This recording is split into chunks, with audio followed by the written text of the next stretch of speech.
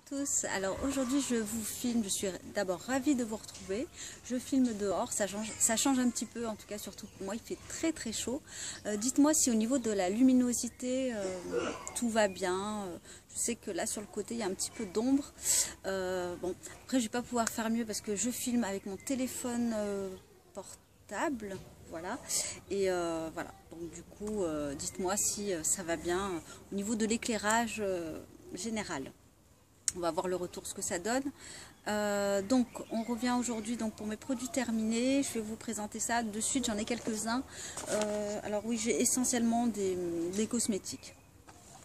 Alors tout d'abord, j'ai terminé donc de chez Aromazone la poudre d'ortie qui, alors ils mettent purifiante et fortifiante, euh, que j'ai utilisé donc dans mes préparations de henné ou de poudre ayurvédique et que j'ai eu vraiment du mal à terminer.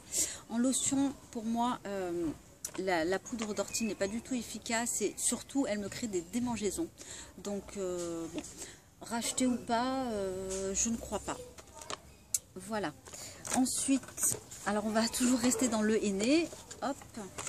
Alors là, j'ai deux types de henné à vous présenter. Donc celui-là qui m'a été offert et qui vient euh, d'Algérie. alors, déjà, bon, il euh, n'y a, pas de... Enfin, c'est pas marqué en français. Euh, donc voilà, pas, je ne sais pas si c'est du rouge, si c'est du cuivré, si c'est du marron. Je l'ai testé, euh, j'en ai mis à peu près la moitié. Ça sentait très très fort. Et du coup, je ne suis pas sûre qu'il soit quand même 100% clean. Peut-être qu'il y a des sels de picrabat, je ne sais pas. En tout cas, bon, évidemment, je, ne rachèterai pas. et d'ailleurs, l'autre moitié, je ne l'ai pas utilisé. Voilà. Ensuite, un autre aîné, alors celui-là pour le coup qui est très très bien. Si vous cherchez des aînés euh, bah, de bonne qualité, je ne sais pas où on peut le trouver parce que moi celui-là je l'ai acheté au salon directement. Euh, c'est le aîné euh, bio, biologique de Perse et qui est de la couleur cuivré cannelle. Éco-cert, etc. Hein. on a juste donc le aîné, vous n'avez pas de sel, sel de picramate de sodium et c'est euh, un aîné plutôt de bonne qualité, même si euh, évidemment il y a encore mieux en termes de qualité de aîné. Mais tout ça, je vous en reparlerai un petit peu plus tard. Ensuite, alors euh, là, je vais quand même vous présenter le, mon savon Gaïa. Il n'est pas terminé. Celui-là, c'est celui qui est au bois de rose, cardamome et gingembre. Il est en cours d'utilisation. Hein. Euh, voilà, comme ça, ça me permet de me débarrasser du packaging. Euh, donc voilà, encore une fois, je vous le répète, les savons Gaïa, euh, on a donc du sodium, du... Qu'est-ce que je dis de l'huile de palme, voilà. donc non, je ne rachèterai pas, en tout cas pas pour le moment, tant que la composition ne sera pas changée. Alors, autre chose aussi, on va parler gel douche. Donc, c'était essentiellement ma fille qui l'a utilisé. Donc toujours hein, la marque Alverde. Oh, ça c'est un gel douche que j'ai depuis euh, des années. Euh, oui, des années. Puisqu'il y a au moins trois ans que je suis allée euh, en Alsace. Et je suis passée au DM. alors celui-là, il est à l'orange. Il sent très très bon. Il lave bien. voilà, c'est c'est un bon rapport qualité-prix au niveau donc des produits de la marque Alverde. On a du sirop d'agave aussi, que j'ai acheté également euh, dans les DM il y a plusieurs années, que je viens tout juste de terminer. Alors, le sirop d'agave, euh, moi dans mes tisanes ou mes thés, je mets pas de sucre, pas de miel, pas de sirop d'agave non plus. Euh, je, les passe essentiellement dans mes préparations pour les cheveux. Voilà, je le préfère au miel parce que je trouve qu'il est moins collant et plus hydratant. Voilà, bon après euh, le miel fait aussi bien l'affaire. Hein.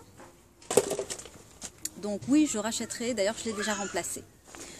Ensuite, donc je prends vraiment comme ça vient. Euh, ça c'est euh, des graines de nigel qui viennent du site Beauté Bien-être que j'ai pris en infusion et qui euh, aurait donc des vertus de renforcer le système immunitaire. Donc euh, bon, je ne rachèterai pas dans l'immédiat, mais euh, je pense que pour l'automne ou l'hiver, une petite tisane de graines de nigel, ça peut être sympa. Au niveau du goût, il n'y a pas trop de goût. Il hein. ne faut pas s'attendre à quelque chose de très très bon. Donc voilà. J'en achèterai peut-être plus tard. J'ai un hydrolat à vous présenter. Donc là, c'est la menthe verte de Provence qui vient d'Aromazone. Alors c'est vrai que maintenant, euh, comme je vous l'ai dit, les hydrolats, euh, quand c'est pour euh, le côté cosmétique, je les achète sur Aromazone. Enfin, quand je peux, quand j'ai l'occasion de passer une commande. Sinon, parfois, je vais en, boutique directement. Celui-là, il sent très très bon, il est rafraîchissant. alors, il n'est pas fini puisque je l'ai transvasé dans une bouteille de, avec un spray. Mais voilà, l'odeur est très très bonne. Et pour euh, la saison euh, d'été qui arrive, euh, voilà, c'est plutôt sympa. Et pour finir, j'ai le gros pot de gel d'aloe vera que là j'ai acheté en boutique bio, enfin chez Botanique précisément, de la marque Pure Aloe.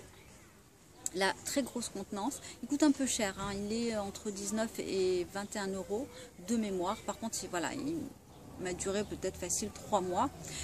alors, le gel d'aloe vera, je l'incorpore partout, que ce soit en guise de sérum le soir euh, et surtout évidemment dans mes préparations de henné, de masques ayurvédiques, euh, de masques hydratants à base de yaourt.